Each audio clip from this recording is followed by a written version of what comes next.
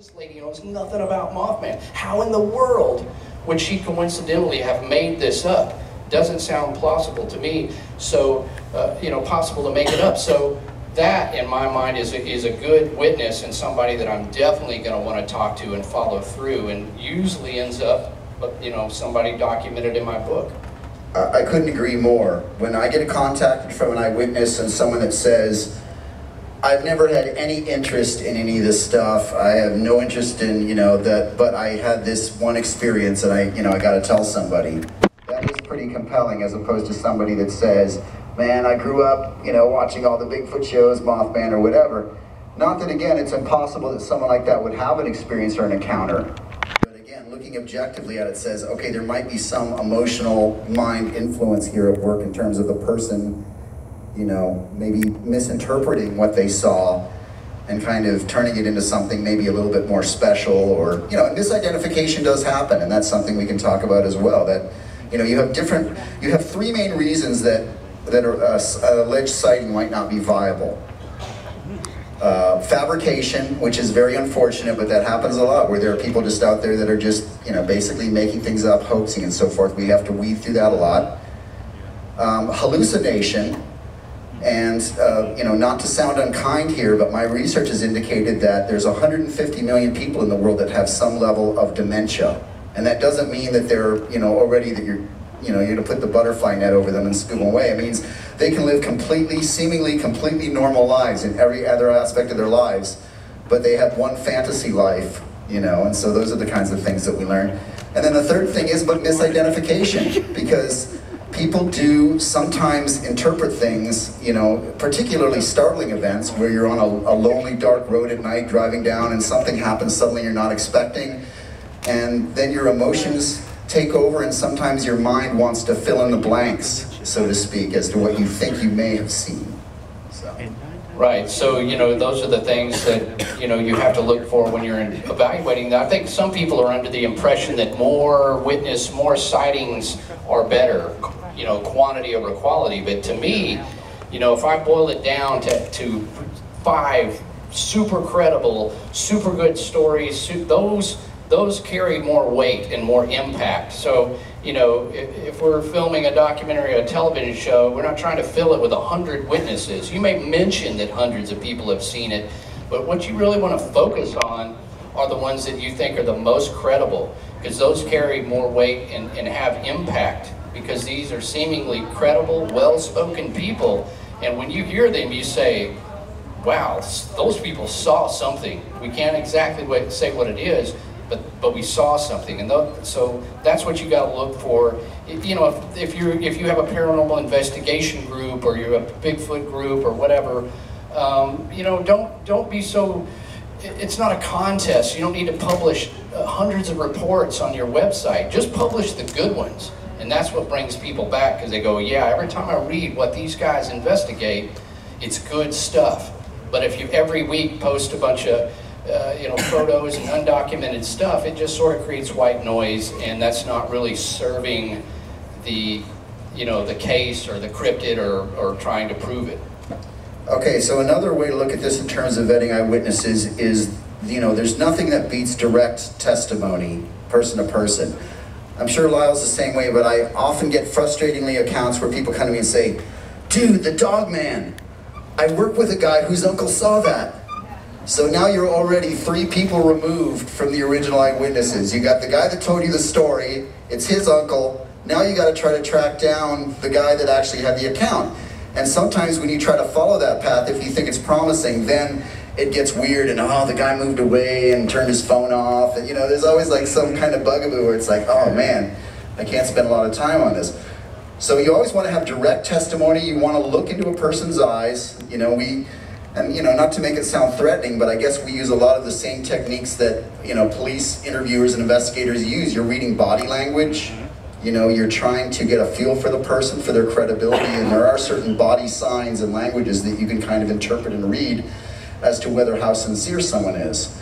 Furthermore, there's nothing more compelling, and he was talking about lots and lots of sightings, but there's nothing really more compelling than a multiple eyewitness sighting.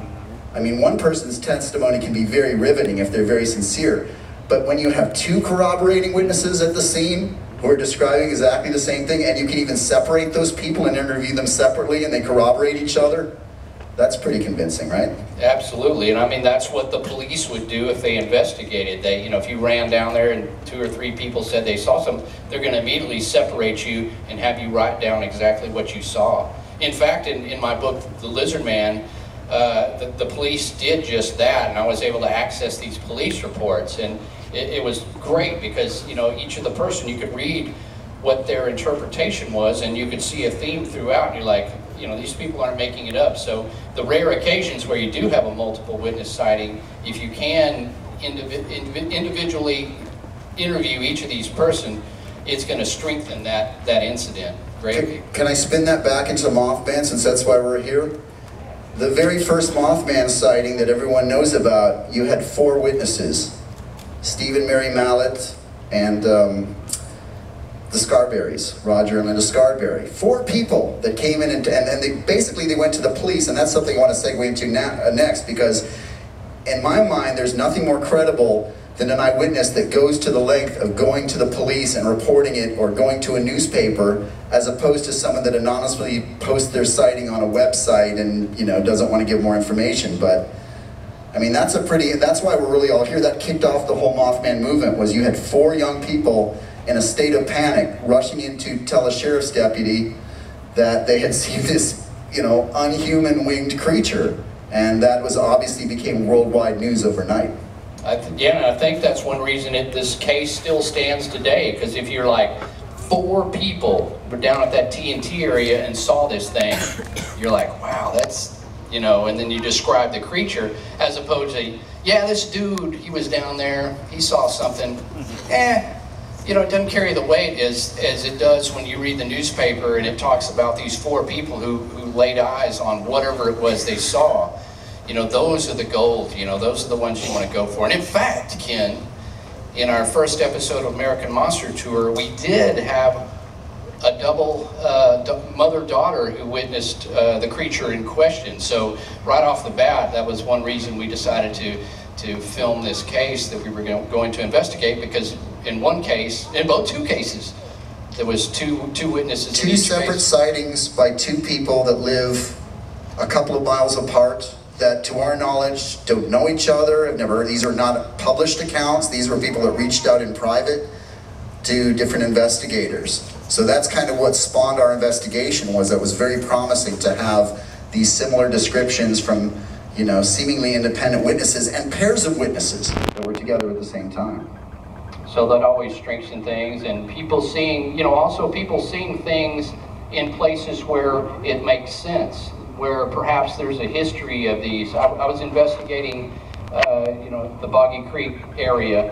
Um, I had a sighting by a, a, woman who saw something in the area of Sulphur River, and uh, you know, just to make this short, she she was uh, driving to see her mother one morning about 10:30 a.m. So it was daytime. She was driving to see her mother in, in the hospital, and she had to drive out. She lived almost in the Sulphur River and you know, at the end where the river begins. And so she drove up on these little country roads, and she got up there and she realized she forgot something. So she had to stop and do kind of a three-point turn and turn around. She said she started going, and she sees something standing in the road.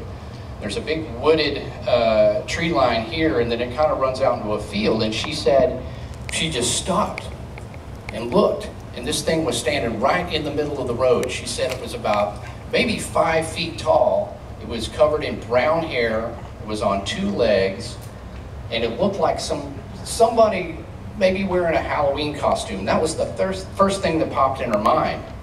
But as the thing stood there and looked and then turned and ran back into the woods, she said, at that point, I could tell it wasn't a person in a costume, it was some kind of an animal. Said I could see the way the hair moved, the way it moved, the way it turned and ran. And this lady you know, uh, I was lucky to have even known about this sighting because after that she went and stopped at a convenience store and was kind of all shook up and just happened to mention something to the clerk there about this and got to talking. And well as I know a lot of people in that area word finally gave, came to me and I was able to interview this woman.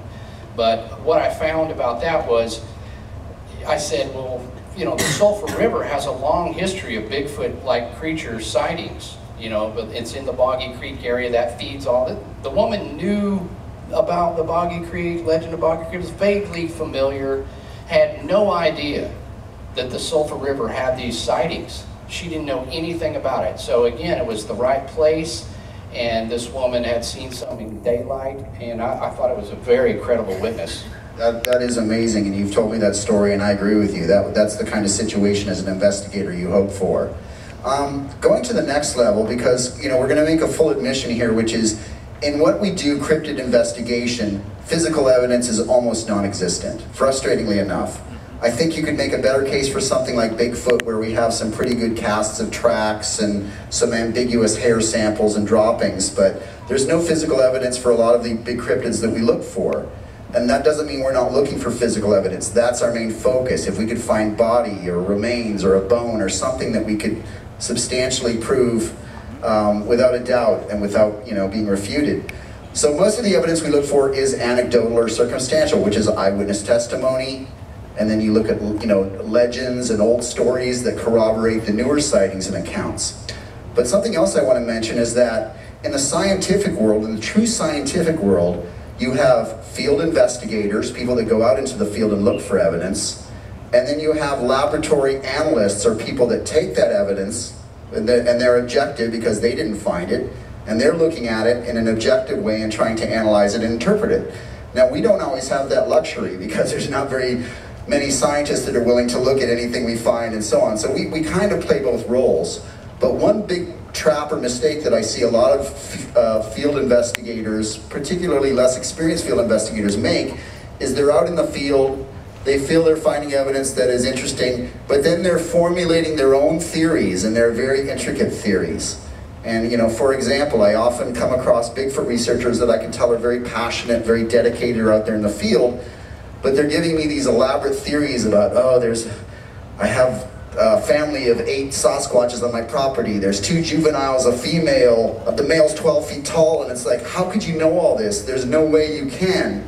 What's important if you feel that you have evidence is to have peer review and to turn that evidence over to other researchers that you consider and trust might be objective and look at it and look at what your findings or discovery, you know, and don't, you know, don't give them your opinion. Just say, hey, this is what I found. These are my reports. These are my sightings. What do you think? You know, is there anything to this? Can you audit it? Can you give me an opinion, a perspective that's different? Because I'm too emotionally attached, perhaps, you know, being the field investigator to, you know, to my findings. Absolutely, you need that, and that's one thing I, I was talking to some guy earlier. It's like you see a lot of just things being published photos and things without any documentation of first where they found them, what were the circumstances, maybe not even something for scale in the photo. As well, they haven't been circulated by what would be a peer review. Run them through some of your colleagues, you know, have your family members look at it. Just do a little research and do a little uh, uh, evaluation of this before publishing the thing on the internet, which is easy, as some absolute solid, you know, we found this Bigfoot track. Well, you know, how do you know it's a Bigfoot track? Don't, don't even tell someone what, Lyle, look at this. This is what I think. Just say, tell me what you think. I just want you to look at that photo, you know, look that over for a few days and just get back to me. I mean, that would be a more objective way to present it to another researcher rather than trying to plant that seed that might lead you to where I want you to go. Yeah, there's a lot of seed planting. When somebody shows you a photo, you know, and they go, look right here is a dog man oh, you just blew it for me because you've already, oh, I see the dog. You're in my head, man. Not, but yeah, you know, at least if just say, here's a photo, and if I can just look at it objectively, and if I see a dog man, well, maybe we got something going. But usually I don't because, you know, I was once shown a black and white photo, and the guy said, look, you can see it's got red eyes. It was, it was a it had been dotted with two red dots. And I'm like, but it's a black and white photo. but I just go, oh, yeah, that's amazing. Wow, how did that happen? And now that we're on this subject, let's talk about photographic evidence because, you know, we said earlier physical evidence, physical evidence, anecdotal evidence. in my, in my humble opinion, we've reached the point now where photographic evidence is just, it's just too inconclusive to really be considered full evidence because there are, of course, with Photoshop and the internet and social media, there are too many fake videos, photos circulating out there, and people are constantly sending both of us photos. Hey, look at this, check this out. And most of them are easily discernible. Either they're too good to be true, like, a dragon. Look, there's this dead dragon on the beach, and it looks like something out of a movie, and you're like, yeah. Oh, that- you're ruining it for me. or it's just, you know, the, the classic what we call a blob squatch, which is just like a shadow in the woods with a red circle, or even more frustrating, 12 red circles saying, there's a whole colony. Well, you know, going back to the, many of you have probably heard of the Patterson Gimlin Bigfoot film. Has anyone ever seen that, heard of that? So in the Bigfoot field, the thing that, that many of us really other than getting to know Bob Gimlin, one of the guys who was there, who's an extremely credible witness, is the fact that that was filmed in 1967 when special effects weren't very good, when there was no Photoshop, and the subject in the film really looks pretty darn good, better than any costume from that time period. But we've gone far beyond that point now. So when people tell me they have a photograph, I'm always telling them really, the only photograph that I'm gonna really take seriously is something that is just literally jaw-dropping, but also makes biological sense. That yes, this is something that could exist, and unfortunately, I'm not seeing a lot of that. Do we want to take questions, Lyle? Is it gentlemen? yeah, we could. Q and A. Yeah, man.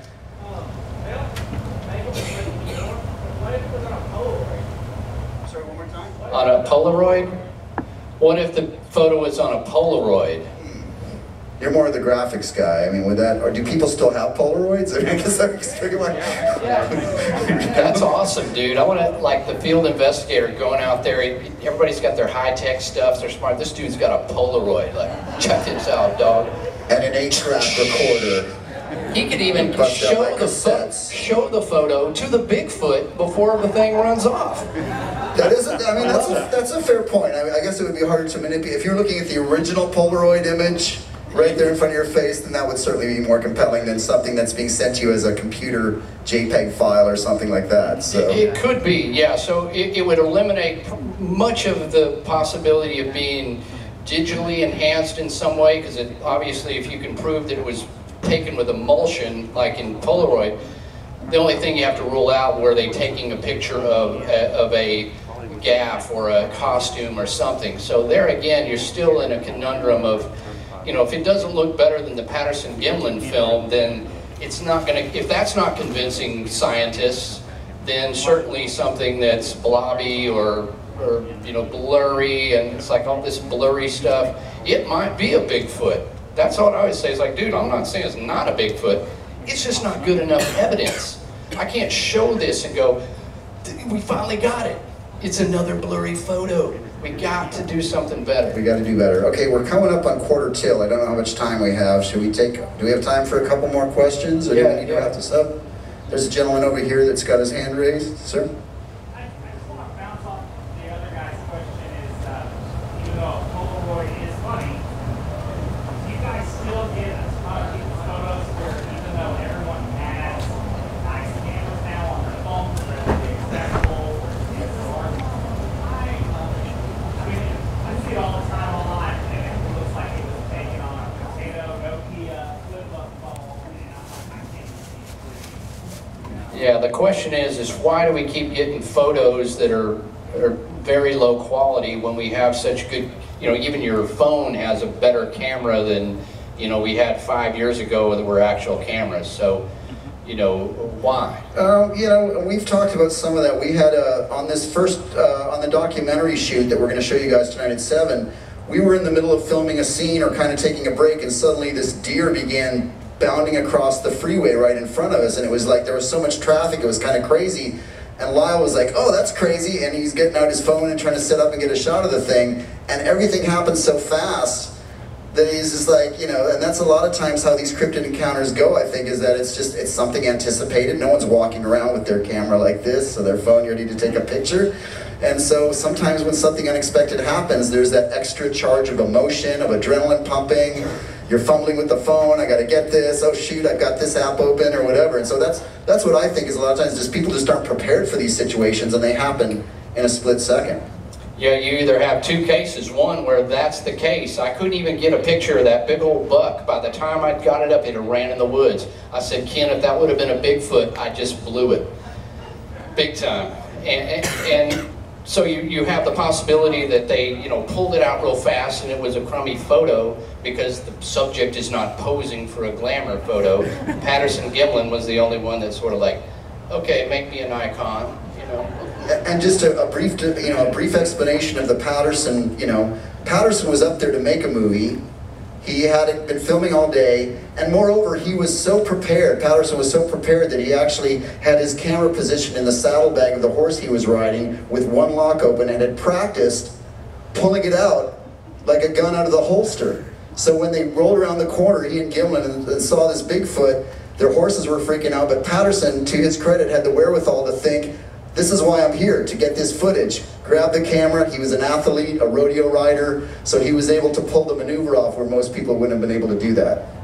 Right, so, you know, and, and anything outside of that, if it is fuzzy, blurry, probably somebody trying to hoax it because you're like, dude, you know, you, at least if the thing is blurry, you can tell the difference between what was taken on a quality camera and something that looks like some Nokia that, you know, they found at the bottom of the river and then took a picture. It's like, dude, you know, and people complain about that and it makes things like Bigfoot a laughing stock to the guy in the cubicle over there. It's like, you want Bigfoot? Dude, that's not real. Because what they've seen is the junk. You know, they weren't here or they didn't go to, you know, to a, look into it more seriously or even read a book. They just kind of saw some crummy photos. So that, that hurts things because it's so easy to put a crummy photo out there that's probably, probably a hoax. One question someone out there might ask is, man, why, you know, you guys, you're obviously out there looking, searching, why aren't there more scientists kind of getting involved in this type of stuff? Well, I can tell you there are. Um, we have, uh, we work with PhDs. There's Dr. Jeff Meldrum from Idaho State who's really stuck his neck out, neck out in the Bigfoot field. Um, there's a PhD in my hometown of San Antonio named Haskell Hart who looked at the alleged Bigfoot DNA findings from a couple years ago, and he's a geneticist, so he actually went through the scientific peer review process of breaking that down. I'm uh, in correspondence with a PhD geneticist at the University of Freiburg in Switzerland who's told me, if you find anything, send it to me and I'll do a DNA analysis. So we're finally on the cusp of a, of a point where there are some scientists out there, some real credible scientists who are objective, who are maybe willing to, to, to help guys like me and Lyle out a little bit and you know give us that extra level of scientific knowledge that we so desperately need. Any, any more questions? How do we know when we're going to stream our show? Well, that's a good question. the, the, because we're making that sh- this show and our investigations independently, it takes a lot longer to produce. We don't have a network budget. We don't have a giant team of people. We're not even, we, we didn't even kickstart this. Well, we kickstarted it right out of our back pocket. Hey, Ken, you got any money to buy me some Doritos? Because I'm hungry. And we're also both, admittedly, I think we're both kind of perfectionists, which goes Right. with our, you know, and so we're, we want it to be good, you know. So every time we do a screening or a cut, we look at it and we go, man, this is good, but We're, and let's we're, try to boost it one more level. So we're trying to do it on the level where people kind of expect. People complain about these shows. That's not real investigation. Well, we're trying to offer that.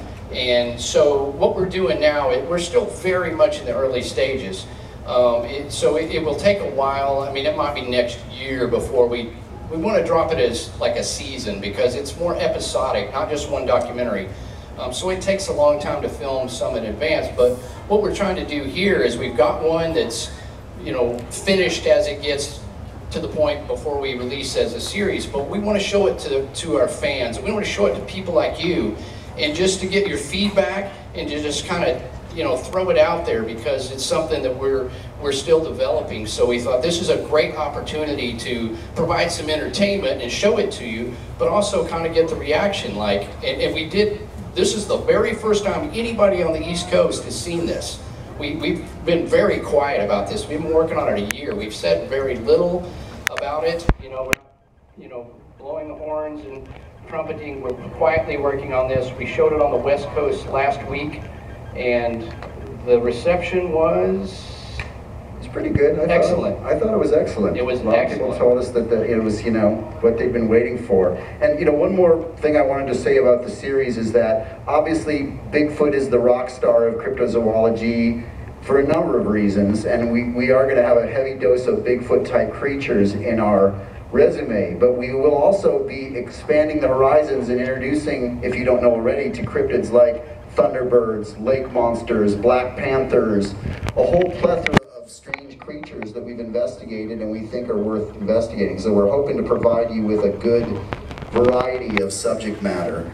and ones that the networks may not like, but we don't have to answer to them. And that's the cool thing. It's like we want to do an, an episode on pterosaurs, we're doing it. Nobody to answer to, and that's the cool thing. But it does take longer. But you know, in the meantime, you know, obviously we've, we've got books on these subjects. We've got book. We've got we've been in documentaries. Um, so you know you can you can follow catch up on what we've done so far, and this is going to translate then into American Monster Tour, which obviously is kind of a motif um, that plays into our our monster hunting as well as our, our past in, in being on tour uh, with with a band. So it's kind of plays in everything that we've we've kind of converged in our lives, and it's sort of us going on the road, touring around, looking into in what we believe are interesting cases, and what we hope you find as interesting cases. And we appreciate your time today, and we certainly hope that many of you will. I know it's been a long day, everyone's hot, everyone's tired, but we certainly hope you do what you have to do, go refresh, get, get into the air conditioning for a few minutes. But we hope a lot of you will be back here at 7 o'clock to, to check out our special screening and to really give us feedback, because we do appreciate all of you, and uh, you know, really we couldn't do what we do and wouldn't be able to do what we do without you, and we want to thank you for that. It's all about you. Give yourselves a round of applause. Thank you, guys.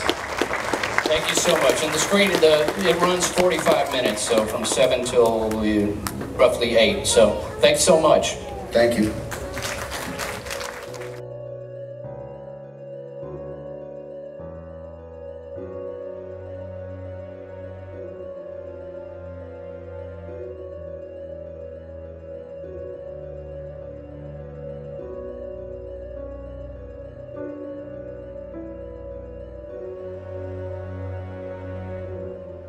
That was really good. I like that. Um, where is that going to be um, available? Like, where's it going to be shown? Uh, is it going to be on DVD or?